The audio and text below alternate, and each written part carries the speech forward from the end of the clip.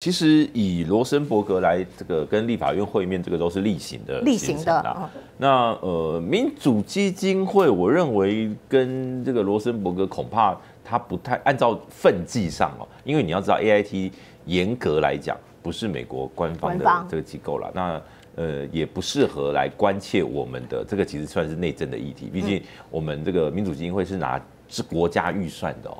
如果今天哦有这样的行为哦，就是说他去私下提到民主界还得了，那就是美国公然干预我国内政了啦。那明天这个现场哦，其实我相信啊，不会只有韩国瑜哦，还会有各党团的立委，江启臣一定也会在现场。会哦，所以呃，就是这虽然说是一个会呃，就是大家先拍几分钟哦，握手，然后呢开开场白，然后呢闭门会议，正常都是这样的一个模式哦。但是里面发生什么与会的人都知道了，嗯，哎，那所以我说不太可能去谈没有必要谈的事情，嗯，哦，那这是第一个，那第二个就是说，呃，韩国瑜跟罗森伯格还没有互动过，对，嘿，那这个互动会不会？因为上一次你要知道，像那个跟孙小雅，对，哦，那个只是换个位置拍照就被拿来做文章哦，明天会不会又有类似的这个？我们倒是可以观察一下哦。那只是说，我觉得韩国瑜院长在呃。这这最近这几这一段时间哦，从他就任到呃接接见第一个外宾，到一直到最近很多非常多，有时候一天三四场的这个呃外交的这种所谓的接见的行程哦，嗯，你都可以看到，其实他在这样的一个行程里面，对，除了他展现他的幽默感之外，基本上是呃中规中矩，嗯。嗯，哦，基本上他都是非常中规中矩，而且呢，呃，我我我觉得他就是扮演好那个立法院长的角色，嗯。所以，如果今天哦，民主基金会的用卡韩国瑜，或者说卡执行长哦，去阻挠，像今天哦，还有那种什么所谓的民进党的一些侧翼啊，或者什么呃，打着民主或人权的团体的去立法院说什么执行长人选应该怎么选啊？老实说，关他们屁事啊！他说不要沦为政治仇庸。嗯，哎，当这些侧翼开始出动的时候，我跟你讲。反正国民党要要要要小心了啦。哦，这表示什么？这表示民进党很清楚的知道，他们不会用政治的方式来处理，他们要用这种所谓的哎，用哎民主人权哦，他们来讲。但我我比较好奇的是，卢业忠老师哪里不民主，哪里不人权呢？我我我一直很好奇，如果今天哦有参与过国民党的竞选团队去帮帮忙去处理一些所谓的外交事务，就就不民主不人权的话，那我们的就没有所谓学者可以可以用嘞。因为他不是总统任命的，那同样他们说要总统任命才行。不是啦，没有没有总统，你你请先把总统任命这这一条规定拿出来嘛。民主基金会章程哪里有一个执行长是总统任命的？没有啊，是立法院长提议，对，通过以后总统去任命，那那是后端的啦。啊，那个没问题是章程就没有这回事啊。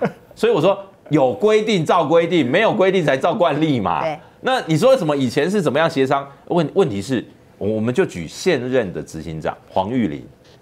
他为什么可以当民主基金会的执行长？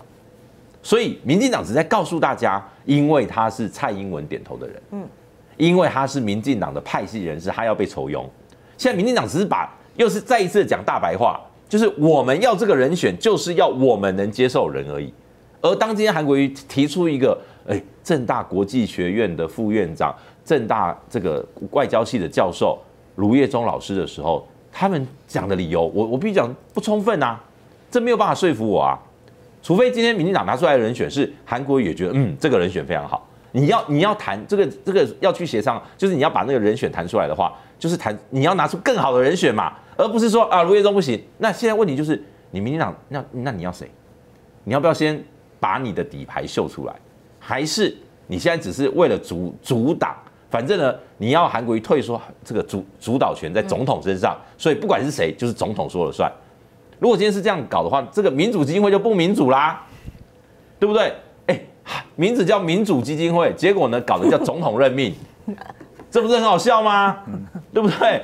现在就是因为国会改变了，对，那我只能说，现在民进党还不如陈水扁啦，嗯，不如陈水，为什怎么说？当年这个民主基金会成立有它的历史的背景。哦，刚刚历史哥也讲了很多，可是最重要是当时王金平为什么能够当这个这个董事长，而王金平愿意接受陈水扁，就算那个时候的执行长人员是陈水扁愿愿意这个提的，重点是双方要愿意啊。对。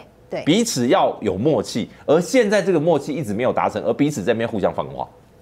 然后民主基金会一直到那边发新闻稿，一直发新闻稿，我不知道你们在发什么东西。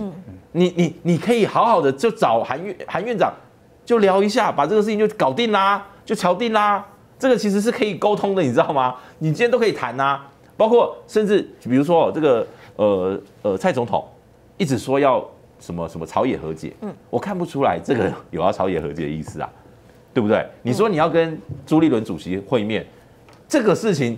就是一个很好的一个沟通的一个一个标的啊，你你其实我觉得说蓝跟绿之间绝对不会没有管道了，我相信都有管道了，只是现在就是卡在，因为第一个韩国瑜也咬咬得很紧，就是他我不不好意思哦，你卢业中人这个人选你不接受，你没有办法提出一个更好的人选，我不跟你玩。嗯，我我我觉得韩国瑜院长他在他在展现他的决心。嗯。所以这这个春假，当然你看哦，这个礼拜放四天假过后，下礼拜马上就要准备开会了。嗯嗯。下礼拜三，对，一个礼拜，对，哎，下礼拜三，如果这个会议要怎么开，开不开得成，这个都是我们可以再再来观察。但是理论上，就是这几天就是关键时刻。嗯。你有没有办法弹出一个一朵花来？哎，就是这个民主机会到底有没有办法顺利的产生新任的董事长跟执行长？那现在的他们的说法好像是啊，我们当天议程就只是把总这个董事长选出来，呃，执行长我们再来谈。哎，我告诉你，到董事长选出来，到时候执行长如果今天哦你们没有谈好哦，到时候董他们董事会是有权否决董事长提出来的执行长，那就很难看了。嗯，所以我说这个东西应该要先瞧出来，先确定彼此有默契，再来去把董事长完成。所以我才会说，为什么我一直主张说，民众党跟国民党现在的代表总总共加起来六个。哦，刚好达到那个流会门槛，就是要一决董事长。民主议会的自己章程里面规定，要一决董事长要三分之二的董事出席。对，所以呢，你六席足刚好是过三分之一，对，刚好可以让这个所谓三分之二一决的门槛达不到。所以如果没有达成默契，不如就留就让他留会，就让他技术性的留会，等到他愿意接受人选的时候，或者说两边有一个默契的时候，再来开这个会。那如果如果四月十号以前就可以达到这个默契，就达成这个默契，那当然把它选出来也就好了。对，所以我说关键是在于说，这个也不见得要针锋相对啦。其实我相信韩院长在这个议题上，他没有要针锋相对意思，他强调的是卢月忠老师这个经历，你告诉我哪里不适合，然后现在已经开始动用到那种什么什么学生团体、民主团体，然后去讲说什么，好像讲了一副呃这个，而且他们是针对执行长人选，对，这太荒谬了，你侧翼动得太厉害了吧？太快动了啦！这些侧翼，我我我必须讲哦，这个国民党聪明的话，现在去查一下这些今天出来开这个这个记者会的团体有没有拿民主基金会的补助去办活动？哎呦，对吼。原来好的益生菌真的可以帮助入睡。太阳星全效克菲尔益生菌是国家认证 AB 克菲尔益生菌，含七种有身份证的专利活菌，能产生伽巴、色氨酸等助眠因子，难怪吃了更快入睡，也睡得更好。